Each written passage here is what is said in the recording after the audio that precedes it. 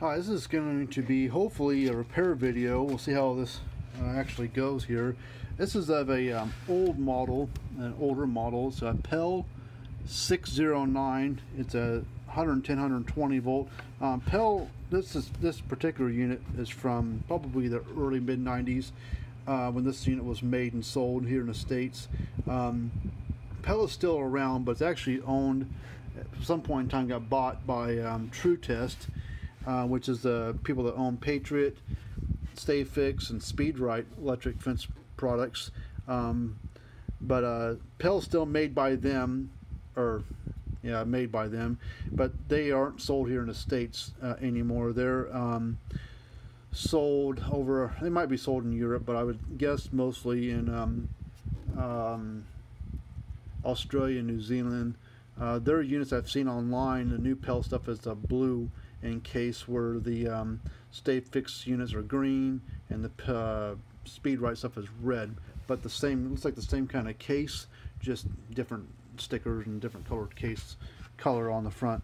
Um, but I've already taken the screws out of the bottom of this thing. This thing's in layers, and I believe I've kind of tested a few things, but I believe my problem's that thing right there. Because um, I did a test on it, because um, this thing's the reason I know I can go through the whole repair of taking a bunch of stuff apart because this thing's built in layers. You gotta take a lot of this crap off just to get to the board and get to the capacitors and stuff like that. It's got two great big capacitors in there and uh, the capacitors themselves are good uh, so I didn't dig too much deeper after that. So I'm gonna pull this board out of here. But yeah this thing is um, pretty stout. Um, it's I would have to say probably a um, 20 joule,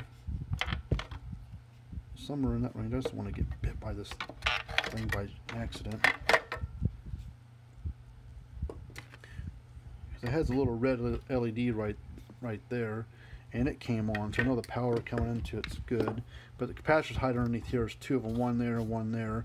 I pulled this piece off, pulled this plastic guard thing out of there, and um, there it reads like 100.1 so I know the capacitors are fine because we're reading 50 a piece so they're tied together and and um, parallel so they're uh, adding up on the capacitors. So we're going to uh, change out that SCR right there um, And I gotta find a replacement first. Um, no, first let's just pull the capacitor or the SCR off there first. So we'll do that real quick.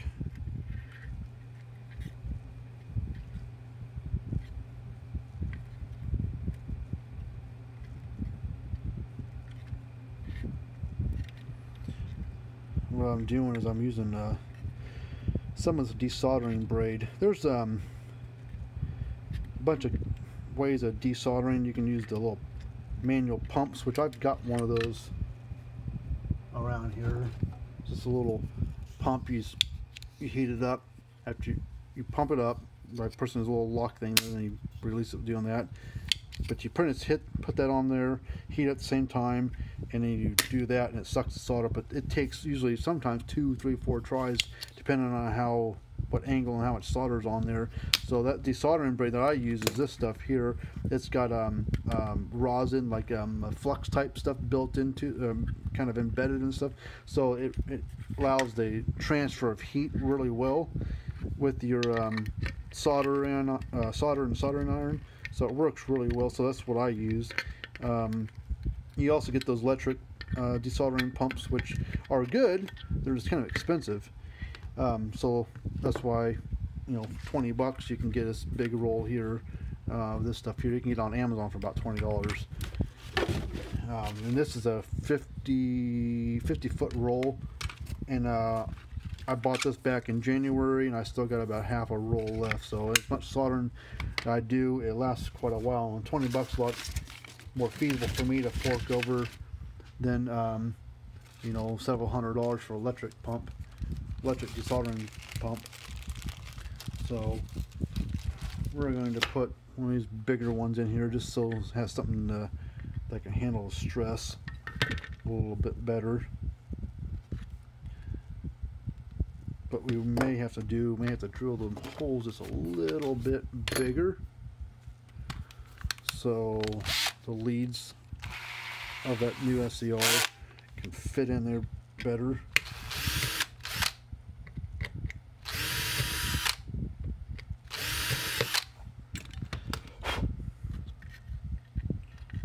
Go like that. So you tilt these in just a little bit.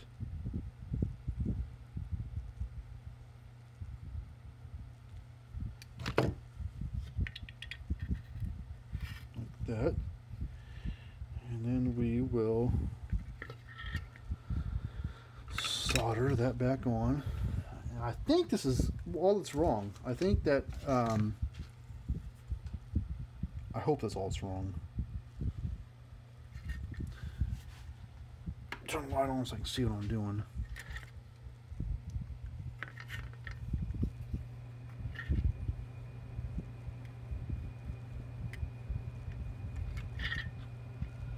Uh, what we're gonna have to do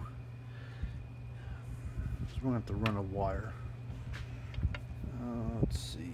We'll get a um, heavier gauge wire, and we'll run a jumper over to it. Because when I put the hole through the board to make the hole a little bit bigger, it messed up the um, uh, solder pads. I didn't think about that. What we'll do is we'll electrically solder that wire over there. That one took. I'll solder this one to one of these over here because it doesn't matter. All those are electrically the same spot. So I'm going to add a little solder to this. I could probably use a smaller gauge wire, but I'd rather be safe than sorry and just have a little too big than not big enough. Put some solder on that tab there. Take this. Heat the two up together.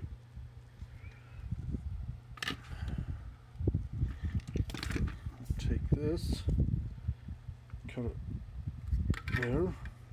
Make it a little long that way you got plenty of room, plenty of ex extra wire in case you make a mistake. Easier to take wire away than to add wire back.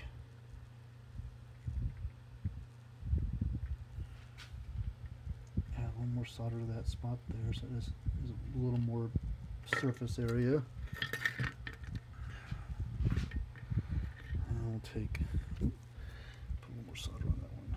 There. All right, now we'll. It's hot.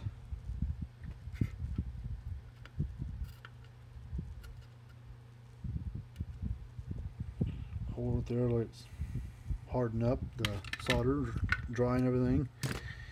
That one's done. Now we'll take another wire because you can't get parts for these things, so you've got to rebuild what's in there, or you end up throwing the thing away. You know, because like I said, this is probably a 20 joule unit. I would I would guess. So to buy a new 20 joule, you'll be spending several hundred dollars for a good one. Uh, I'm just gonna solder right to that middle one since it's straight at it. There's nothing soldered there, so we're gonna to make it its home right there. So we will heat those two up together. Let it dry, cool off. Take pair of snips and use about that long. Ooh, almost cut that a little too short. We'll see how this works.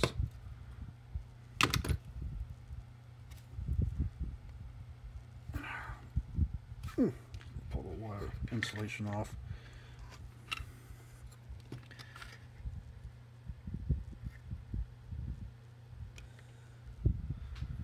Okay, got solder on the wire and let's put some solder on this tab.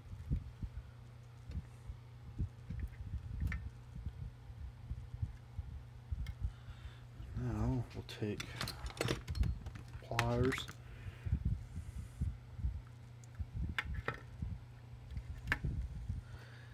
And now we'll just fuse those two spots together.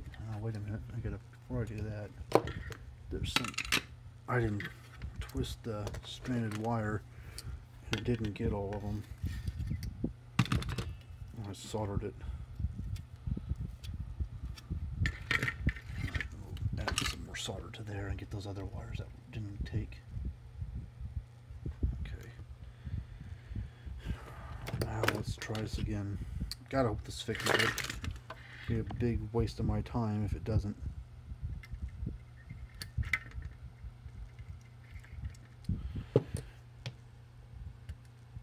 Okay. Alright, solder, do your magic.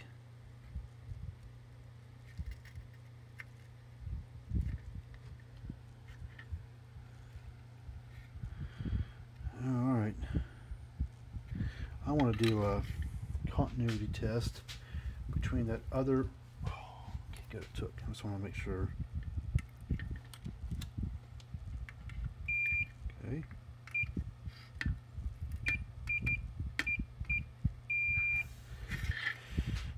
this one's over here should be good all right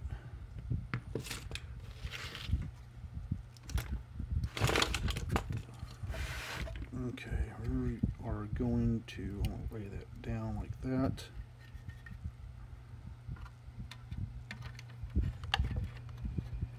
Slide that board in.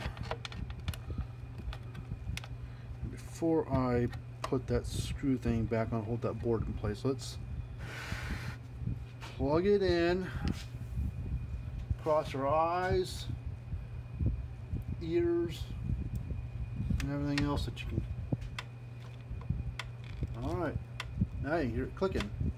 Wasn't doing that before. It was just. It was just um, um, staying on solid. It wouldn't click at all. So my guess was right. Nice bright little LED there. Let's unplug it. Let's hook up the um, fence tester here. I don't want to mess this tester up, so I'm going to use my, um, I've got a good, uh, let's see, got another tester here I wanted to use, but where did I put it at?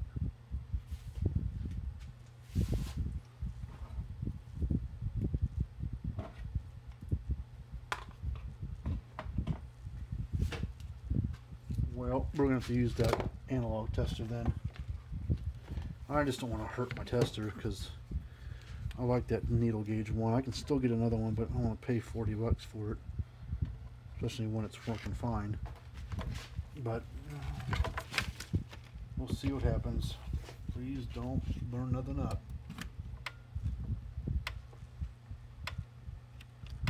Alright.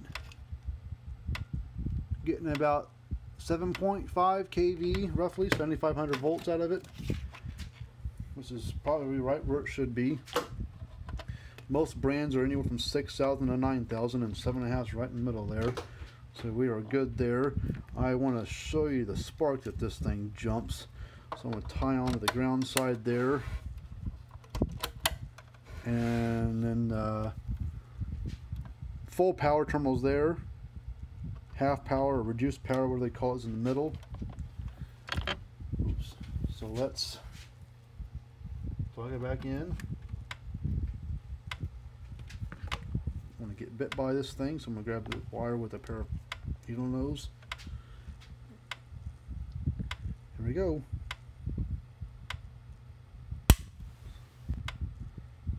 See, the thing throws a huge spark.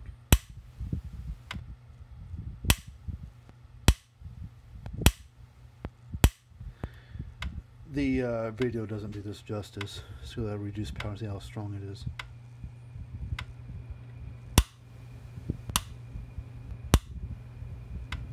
Reduced power's just about as strong as the full power is, you know, looking at visibly, but well, that fixed this one. Brought another old model back from the dead. So hopefully you like this video. I mean, this wasn't too much to look at, but it was kind of interesting seeing uh, the shape of this thing. It's like a egg. It's kind of weird shape. Hopefully this, um, you know, some benefit for you, or you know, if you're looking for a, some place to send a unit for repair, or you know, have want some help. Oh crap! Hold on, hold on. I gotta put that this little doodad here back in so it holds the board down in place.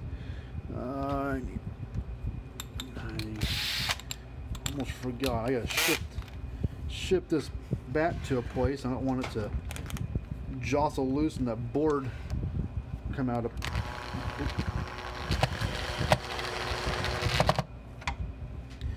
You know, come loose and shipping or something stupid. But Fencer Fixer is our name. that's what we do is repair electric fencers and fence chargers and stuff like that. We also work on um, cattle scale, you know, livestock scales for squeeze chutes and alleyway platform scales. Uh, we work on uh, EID, uh, you know, ear, ear, tag readers, the portable ones, you know, for handheld ones, and the uh, uh, ones that get mounted with the big antennas on the side of your chutes and crushes and stuff. So if you need help with that stuff, I mean, we can help you there too. Um, but hopefully this video was some benefit for you and, you know, found a place that we're willing to work on stuff. If you want to try to do the repair yourself, you know, we can help you, hopefully help you with that as well. We can get you parts and, you know, we always put a year and a half warranty on everything that we work on, uh, the repairs that we do, which uh, lightning damage is part of our repair warranty. If um, you do the repair yourself, uh, we you buy parts from us, we pass that same year and a half warranty on to you as well for the you know the parts you get from us. Uh, lightning damage is included as part of our warranty. We don't get a lot of warranty repairs that are our warranty that we provide for our to our customers and you know that let us work on stuff. But uh, we do from time to time because you know lightning you know is a big factor with these electric fence boxes old style new style. Um, but um, give us a thumbs up on the video if you like and subscribe to our channel if you'd want. Um, you know we appreciate it. Uh, you can go to our website which is uh, fencerfixer.com and fencer is spelled just like that F-E-N-C-E-R and fixer is F-I-X-E-R dot com there's a little link that you can copy and paste into your browser or maybe possibly click on. It's in the description below. Um, our Facebook page is on there, so you can like us on there as well. We don't get on Facebook too often because I got too many repairs to do. I don't have time to focus on Facebook stuff, and I don't have enough time to focus on these YouTube videos like I'd want. But um, you know, I got got a stack of repairs staring at me all the time. So um, if you someone lived a lot closer, you know, I'd probably put you to work. There's plenty to do. But anyways, until we uh, provide another video of how to fix something or how to test something or whatever, we will see you later. Oh, I want to see what it looks like flashing from the outside since the case is back on there now. There it is, let's flashing along. Weird looking charger, it's a funny shaped case but it is what it is.